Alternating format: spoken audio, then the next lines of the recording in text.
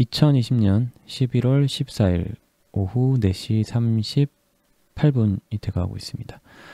뭐 거래소 보면 네, 코스닥은 좀 많이 빠지고요. 코스피 같은 경우는 거의 어, 역대 전고점이라고 볼 수 있어요. 아마 2,500 찍으면 뉴스 한 번 더 나올 것 같긴 한데 더 올라갈 수도 있을 것 같긴 합니다. 지금 뭐 공매도도 없고 사실 기관 쪽에서 매도 치는 게 좀 없으면 그것만 없으면 2,800 정도까지는 뭐 무난하지 않나라는 얘기도 뭐 다른 데서는 나오고 있어요. 근데 사실 좀 불안한 상황이긴 합니다. 좀 바이든 때문에 어, 당장 상승도 있지만 어, 코로나가 지금 계속 퍼지고 있고 지금 어, 거의 2차 팬데믹 된 지 좀 됐죠. 그리고 어, 트럼프가 또 무슨 짓을 할지 몰라서 네, 좀 왔다 갔다 할 것 같긴 해요. 네.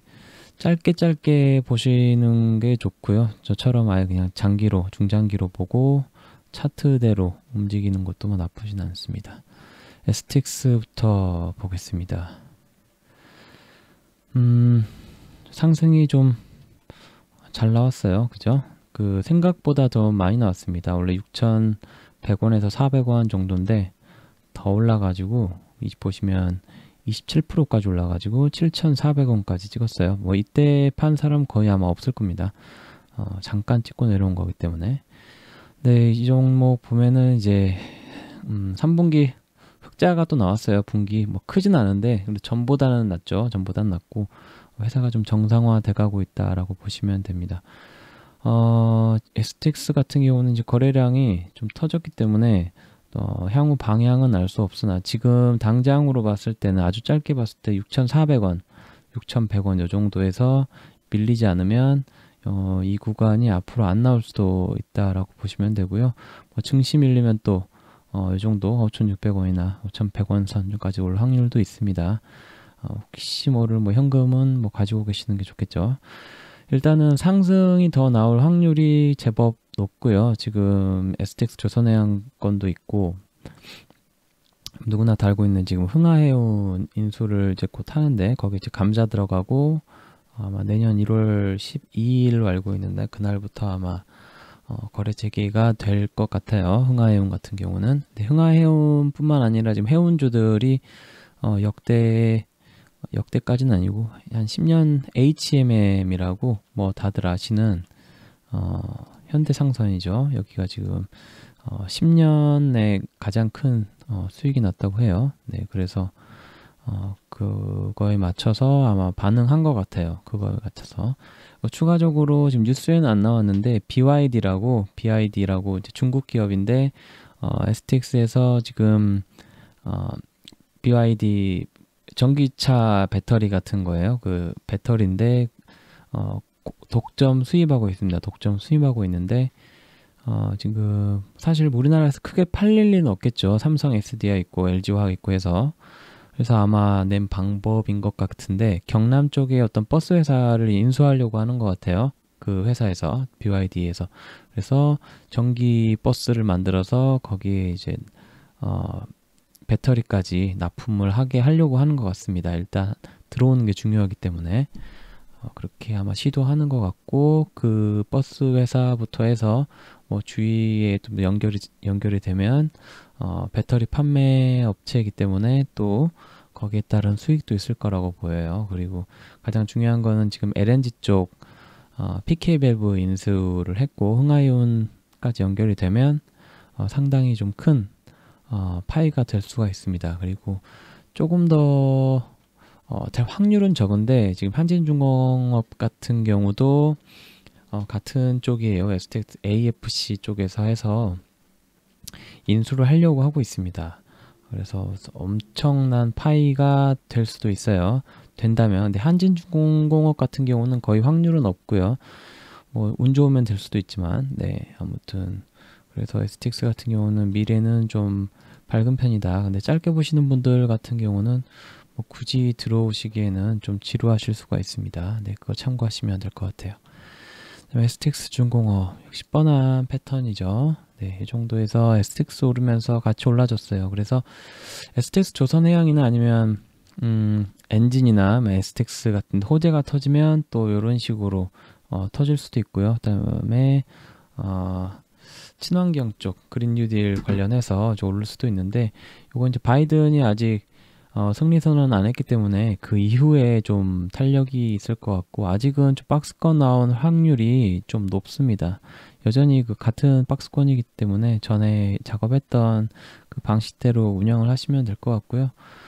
어, 저 같은 경우는 뭐 이미 다 매직 끝났기 때문에 그냥 구경만 할 거고 혹시 뭐 추매할 타이밍 보이면 그때 들어갈 수도 있는데 그냥 냅두고 나중에 좀 많이 오르면 네 그때 볼 것 같습니다. 네.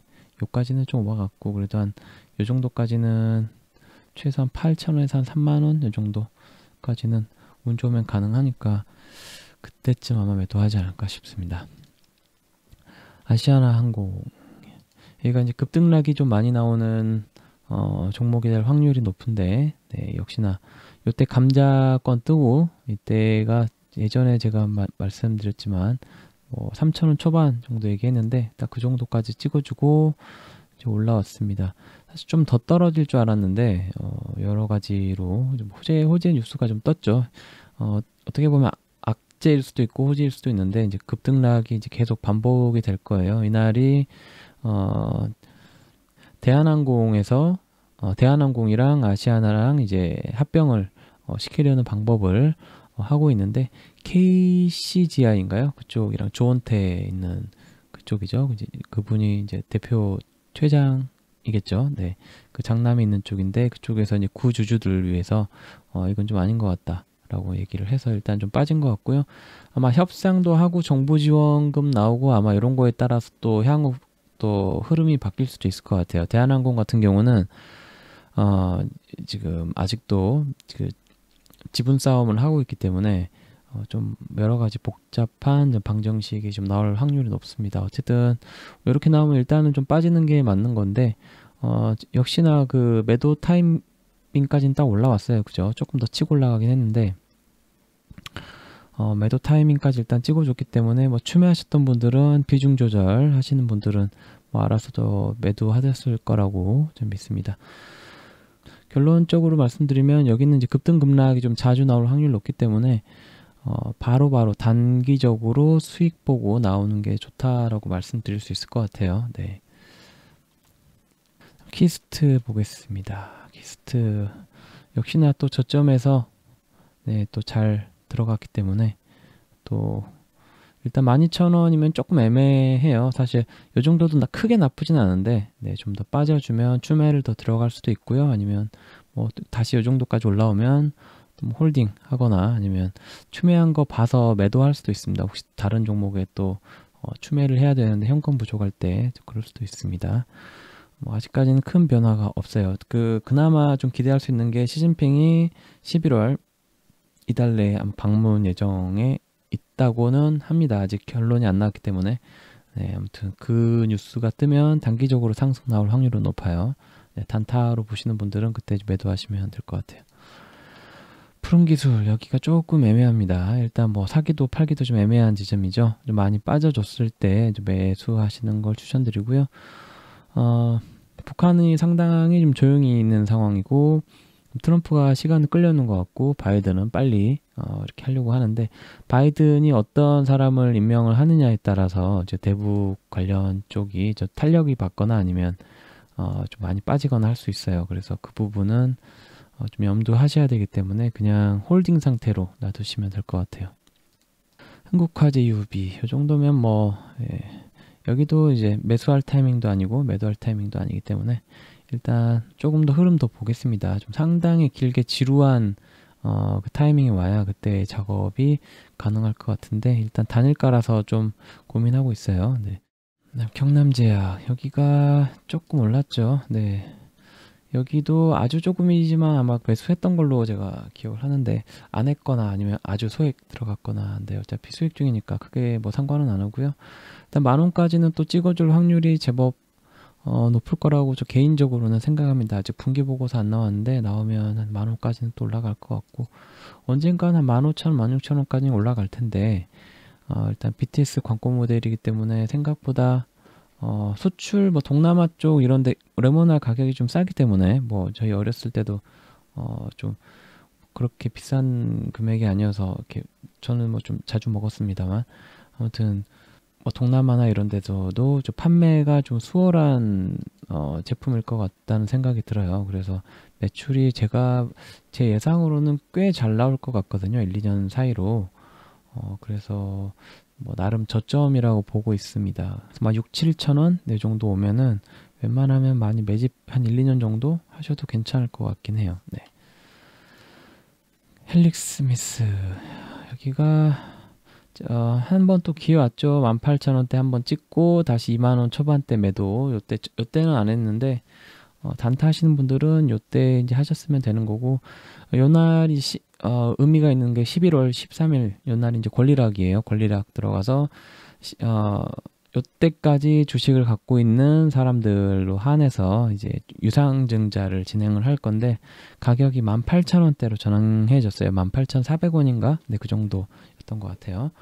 어, 그렇기 때문에 어, 유상증자 가격보다 더 내려오면 매수를 해도 될 것 같습니다. 단기적으로 또 상승 나올 것 같지만 또 밀릴 수도 있거든요. 더 16,000원, 14,000원까지. 예, 그걸 대비하시는 게 좋고 올라가면 더 좋고요. 올라가면 올라갈수록 유상증자 받을 때 오히려 수익이 더 커집니다.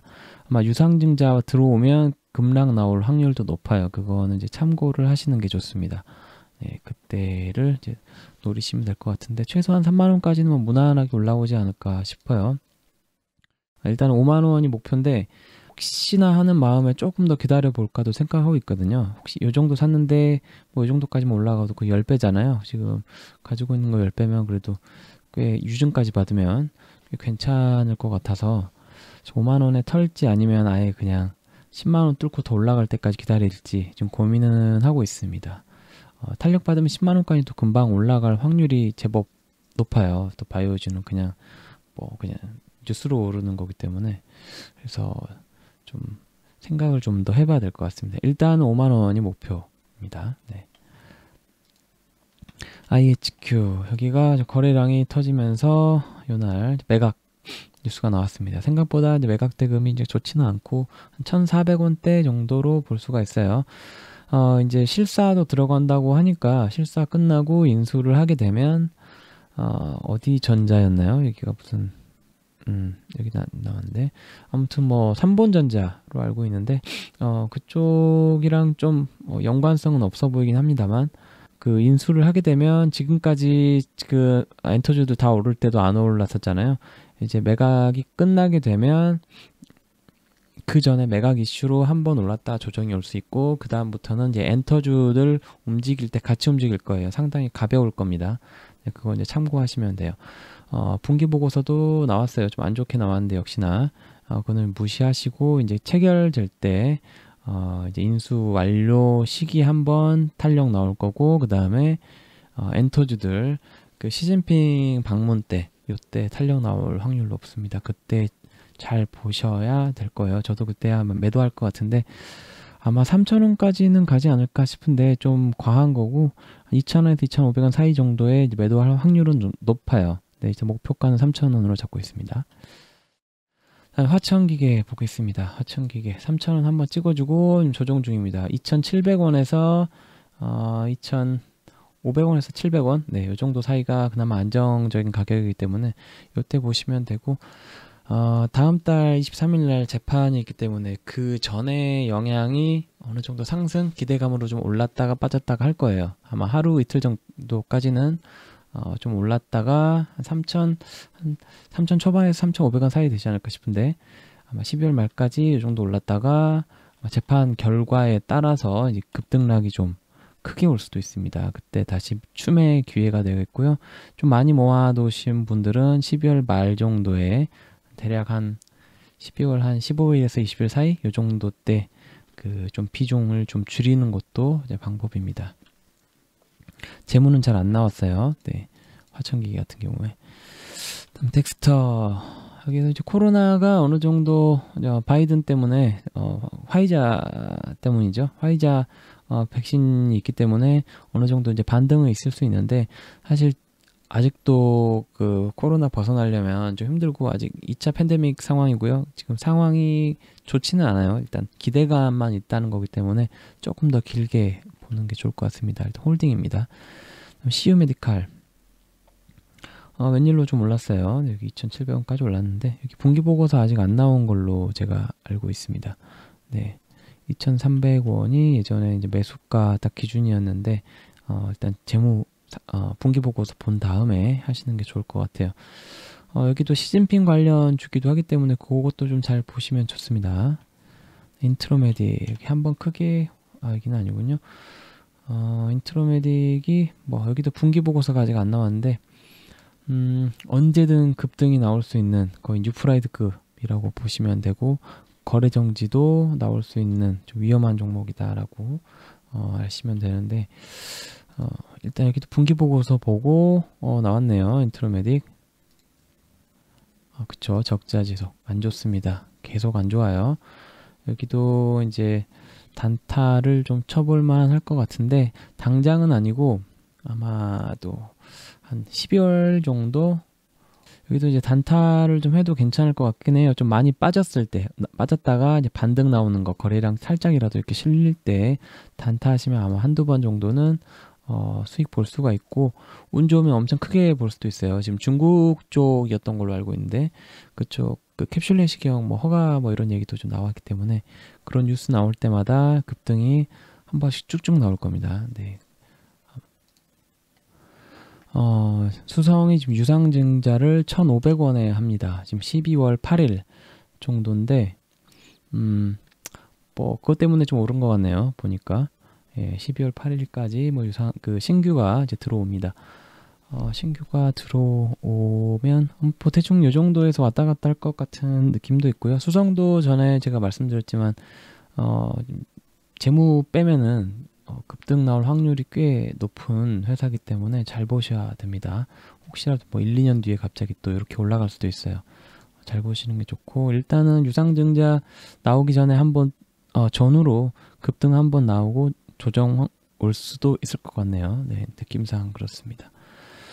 아이지 비자 여기가 좀, 어, 좀 비리비리하다고 해야 되나요? 뭐큰 음, 움직임은 없는데 내년 3월 정도에 이제 어, 코로나만 심하지 않으면 어, 학교 초등학교였나요? 뭐 아무튼 그 와이파이를 설치를 하기로 했으니까 그때 전에도 말씀드렸듯이 한 1월, 2월 정도까지는 쪽에 설치가 될 것 같아요. 1월, 2월까지는.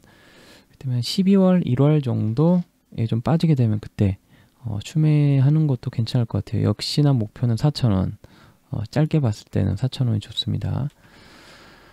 아, 윙이푸드. 윙이푸드 분위기 좋죠. 지금 광군절 때 매출이 지금 발, 어, 여기는 바, 발표 안 한 것 같은데, 어, 발표는 따로 안 했는데, 여기는 뭐 거의 흑자 나오는 곳이라 뭐 크게 걱정은 없을 것 같고요. 그 다음에 또 대주주죠. 그분이 또 배당받은 걸로 또 추가 매수도 하고 있어서 상당히 긍정적이라 볼 수 있습니다. 이렇게 거래량 터지고도 계속 올라가는 거 보이시죠? 어, 크게 올라갈 확률 높습니다. 아마 정고점 뚫어줄 수도 있을 것 같아요. 조만간 시진핑도 오고, 그쵸? 그 다음에 푸드나무랑 지금 합작하고 있는데 푸드나무가 이제 중국으로 진출하려고 하는 것 같아요. 거기에 사실 뭐 윙이푸드는 이제 중국계지만 홍콩이라고 볼 수 있는데 아마 윙이푸드 쪽에서 이제 도움을 좀 많이 받을 것 같아요. 서로 아마 윈윈 하는 관계가 되지 않을까 싶습니다. 그다음에 센코어 여기가 이제 어느 정도 탄력이 나왔어요. 아마 화이자 문제 때문에 올라가지 않았을까 싶어요. 여기 적자 막 지속된 것 같은데, 네 음, 지금은 이제 매출이 안 나올 텐데 나중에 이제 코로나가 치료제가 직접 나오게 되고 어느 정도 좀 어, 나오면 좀 시간이 지나면 올라갈 확률이 높은데 어, 단점이라고 할 수 있는 게 이렇게 인도 매출이 생각보다 괜찮은데 인도 같은 경우는 지금 화이자의 그 cold chain 시스템을 이제 포기한 상태예요. 관리 비용도 너무 많이 들고 좀 더운 나라다 보니까 어, 그래서 다른 치료제나 뭐 이런 것들이 나왔을 때 뭐 가루약으로 변형이 된다고는 하는데 그건 해봐야 하는 거니까 그리고 조만간 20 며칠이던가요? 그 FDA에서 화이자 관련 어, 그 승인 목 승인이 되면 아마 그때 맞춰서 아마 그 언, 온택트죠. 온택트주들이 좀 올라갈 수도 있습니다. 그때 좀 탄력이 나올 수는 있을 것 같아요. 어쨌든 요 가격에 계속 묻어두시면 어, 됩니다. 뭐 추매하셔도 되고. 여기가 이제 분기 잘 나왔어요. 영업 20% 이상 나왔던 걸로 아는데 예, 안 나오네요. 어, 분기 잘 나왔고요. 이제 탄력이 나올 타이밍이 된 것 같아요. 바로 안 나오고 뭐 한 며칠 있다 나와도 되니까 어, 사업은 좀 많이 말아먹는 편이지만 요즘 페이코인 안 봤는데 페이코인도 거의 한 절반가 원래 그 본전가라고 해야 되나요? 그 정도까지 다시 내려왔더라고요. 어, 아마 6천원까지는 찍을 것 같은데 안전 어 그나마 좀 안전한 구간이 5,600원에서 6,000원 정도에 매도하는 게 그나마 안전하고 뭐 이것저것 호재가 좀 터지면 제가 봤을 때는 8천에서 만 원까지도 가능하다라고 볼 수 있어요. 아마 계속 잘 나올 거예요. 지금 뭐 화이자가 어, 뭐 약품을 어, 화이자 쪽에서 백신이 나오든 아니면 뭐 셀트리온에서 나오든 그걸 또 생산해야 되고 다시 또 유통까지 해야 되기 때문에 상당한 시간이 걸릴 거거든요. 그래서 어, 매출은 당분간 계속 잘 나올 거다. 근데 이제 그 온택트주가 올라가면 상대적으로 언택트주가 이제 내려가는 그런 현상도 있을 텐데 매출 자체는 어, 향후 최소한 6개월 이상은 더 잘 나올 것 같아요. 그거는 거의 확실합니다. 일단 그래도 6,000원 정도 선에서 매도할까 생각 중이에요. 전에 그 이제 팔고 나머지 들고 있는 거 있는데 그걸 나머지를 아마 팔고 나중에 다시 입성을 해서 수익을 낼 것 같습니다. 일단 평단이 좀 많이 낮기 때문에 나중에 좀 평단이 높아지더라도 좀 위에서라도 어쨌든 어, 괜찮은 가격에 작업을 할 것 같아요. 넥슨 GT 이거 뭐 디즈니에 팔린다는 뉴스가 갑자기 떴습니다. 디즈니 쪽에서는 좋은 게 사실 넥슨 같은 경우에 그 IP라고 해서 직, 지적 저작권인가요? 뭐 그 캐릭터 상품 같은 경우 예전에 그 GI조 같은 뭐 그런 것들이 있기 때문에 넥슨에 지금 뭐, 뭐 리니지 같은 건 없지만 던전 앤 파이터 그 다음에 어 뭐 다른 또 메이플 스토리 같은 뭐그 상품들 있죠. 디즈니에서 그 미키 마우스 팔듯이 뭐 그런 제품들도 이제 팔 수가 있고요. 라인 캐릭터처럼 어 그리고 그거를 나중에 어, 만화 혹은 뭐 애니메이션, 영화화를 할 수가 있습니다. 지금 디즈니가 가장 많은 지적 저사, 저작권을 갖고 있기 때문에 게임 쪽도 아마 노리는 게 아닐까 싶습니다. 어, 그다음 EID 보겠습니다. EID 같은 경우는 다른 어, 회사 주식을 어, 매입을 했습니다. 그래서 뭐 타 주식을 이렇게 매입을 한 거죠. 매입을 해서 어, 거기에 따른 또 수혜가 있을 수도 있어요. 사실 이런 뉴스가 나오면 많이 올라가기 마련인데 일단 500 정도 매도 예상을 하고 있는데 아, 상황 봐야겠지만 요까지도 가능하지 않을까라는 생각을 좀 하고 있습니다. 전에도 한 요 정도 거의 한 800원까지 올라갔잖아요. 800에서 1000 요 정도까지 좀 더 올라가는 거 봐도 되지 않을까. 지금 거래량이 좀 심상치 않아서 어, 상당히 괜찮은 것 같고요. 바이든 또 수혜주기도 하잖아요. 2차 전지. 어, 그래서 지금 일단 500원 목표로 잡되 위로 더 어, 보고 일단 꺾이는 게 보이면 그때 팔 것 같아요. 나중에 더 올라가면 올라갔다 꺾일 때 500원을 마지노 선에서 해서 매도할 수도 있습니다. 네. 어, 어떻게 흘러갈지는 잘 모르겠으나 일단 흐름 자체는 계속 우상향 그리고 급등 나올 확률이 어, 높을 것 같아요. 네. 한국 패키지 여기가 포장재 쪽이 좀 많이 올랐어요. 요날 요날 좀 많이 올랐는데 지금 테린 포장도 마찬가지고 좀 많이 올라가고 있습니다. 이유는 모르겠는데 아마 여기도 지금 언택트 관련해서 지금 매출이 상당히 잘 나오고 있을 거예요. 그래서 아마 더 올라갈 수도 있을 것 같습니다. 네, 느낌상은 그렇습니다. 아직 뭐 재무나 아니면 뉴스 같은 경우는 특별히 찾아보지는 않았는데 어, 네, 사채를 쓰네요. 어디에 쓸지 모르겠는데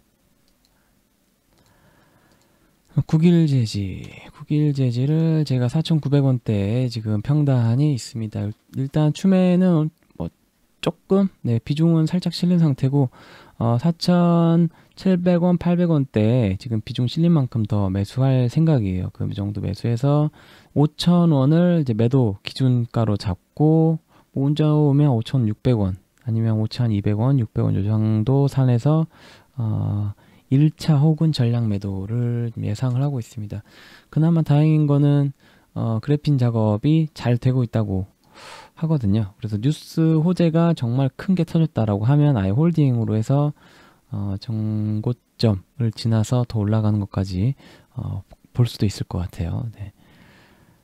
CJ 시푸드 여기도 지금 잘 안 보고 있죠. 차라리 이쪽을 보는 게 낫긴 한데 계속 빠지고 있습니다. 네. 깨끗한 나루도 마찬가지고 매수할 가격은 아니에요. 이 우선주들. 네. JST나는 뭐 살짝 올랐다 빠진 것 같은데 여기 넘어가고요. 유니언 머티리얼 여기가 정말 특이하게 어, 끝물이라고 봤는데 어, 트럼프 덕에 계속 이렇게 살아남고 있습니다. 무슨 꺼져가는 불빛 계속 살아나는 것처럼. 네.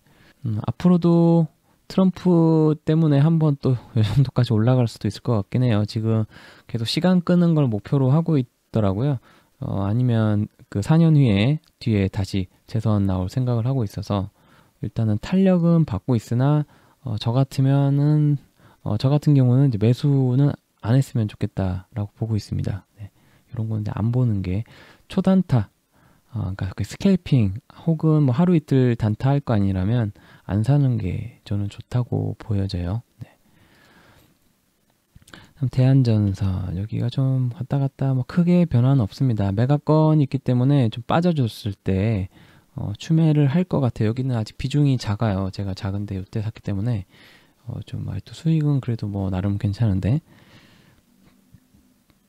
어, 이렇게 중간중간 이렇게 거래량 터지면서 올라가고 있습니다. 거의 천 원 근처까지 가고 있기 때문에 한 요 정도 850선 정도까지 오면 매수해서 한 950 정도나 이제 매도하는 것도 괜찮아요. 지금 위, 위에는 점점 내려오고 있어서 한 950 정도가 좀 무난할 것 같아요.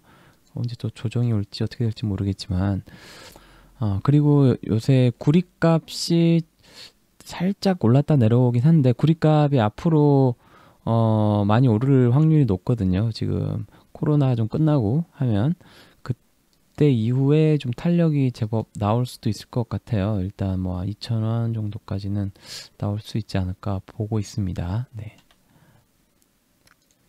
한국가스공사 요즘 뉴스를 별로 찾아보진 않았는데 어, 한 25,000원, 6,000원 정도 오면 이제 매수를 들어갈 것 같아요. 조만간 또 LNG 어, 선 발주가 들어갈 확률이 높기 때문에 그거에 맞춰서 또 탄력 나올 수도 있고요. LNG 쪽 수요가 아마 많이 늘어날 거예요. 그래서 길게 봤을 때 저는 괜찮다 보고 있습니다. 한국전력도 어, 지금 친환경 쪽으로 갈아타는 분위기예요. 짧게 보면 안 좋지만 길게 보면 어, 올라갈 확률 상당히 높아 보이고요. 여기 또 배당도 올라갈 때 배당 절 주니까 또 노려봐도 될 것 같긴 합니다.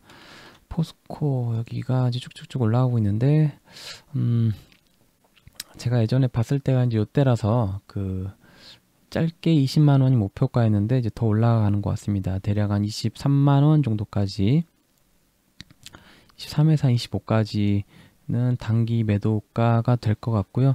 포스코도 지금 철강 쪽, 어, 조선 쪽이 풀리게 되면 또 어, 많이 올라갈 확률이 높기 때문에 그거 잘 보시면 되고 종목이 무겁기 때문에 단타보다는 좀 중장기로 보시는 게 좋습니다. 일단은 지금 여기는 고점이기 때문에 최소 20에서 22만 원 사이 가장 좋은 거는 저는 20만 원 이하라고 생각을 하는데 어, 중장기로 보면 20만 원 정도도 뭐 괜찮지 않나 싶어요. 네. 한국 카본 여기도 이제 LNG 관련해서 올라갈 어, 타이밍인데 일단 여기서 좀 많이 걸려주고 있어요. 만 원, 만 천 원. 나중에 어차피 더 뚫어갈 것 같고요. 여기도 회사 괜찮기 때문에 잘 보시는 게 좋습니다. 여기도 계속 올라갈 것 같아요. 다음 대한제부 여기가 좀 꺾여야 사는데 그때 그때 좀 고민을 네 하는 바람에 못 샀는데 좀 더 떨어졌으면 좋았을 뻔했는데 어, 일단 계속 구경하고 있고요. 그다음에 곰표 뭐 맥주 아직 안 먹어봤는데 조만간 한번 사 먹어볼 생각입니다. 거기도 좀 어, 요즘 매출 잘 나올 거니까 그쪽 뭐 매출도 좀 쏠쏠하지 않을까 싶습니다. 네. 뭐 여러 가지 거, 어, 그 다음은 뭐 그냥 추가적으로 특별히 볼 건 없는데 한진중공업 이번에 어, 매각 입찰 참여할 네, 이렇게 나왔고요. 그 다음에 어, 이거 말고도 그 또 체결된 게 있어요. 그 어디 쪽인지 한 500억, 500억인지 400억인지 또 공시 수주 공시 하나 떴고요. 그래서 한진중공업도 잘 보셔야 되는 게 어, 이제 여기도 매각건이 있기 때문에 어, 잘 보시는 게 좋습니다. 지금 여기도 어, 회복이 돼가고 있는 상황이라고 보시면 돼요. 네, 그리고 HMM도 이미 저번 주에 비해서 거의 이 정도 올라와 버렸기 때문에 많이 올랐습니다만 제가 볼 땐 더 올라갈 거예요. 더 올라갈 건데 단기적으로는 조정이 올 수도 있기 때문에 굳이 뭐 이럴 때 사시는 것보다는 살짝 장 무너지거나 이래서 내려오면 그때 추매하시는 게 그래도 짧게도 수익 보기 좋고 길게도 수익 보기 좋습니다. 네. 그거 말고는 네, 특별히 비코 같은 경우 수익도 잘 나왔더라고요. 분기 잘 나왔고 어, 또 특별히 볼게 자이글도 분기 잘 나왔고 요거는 뭐 급등 급락 잘 나오기 때문에 거의 예전엔 뉴프라이드 같은 거라고 보시기 때문에 여긴 단타 좋아하시는 분들만 보시면 될 것 같아요. 다른 거 뭐 특별히 네, 볼 게 없을 것 같습니다. 네. 오늘 영상은 여기까지 하겠습니다.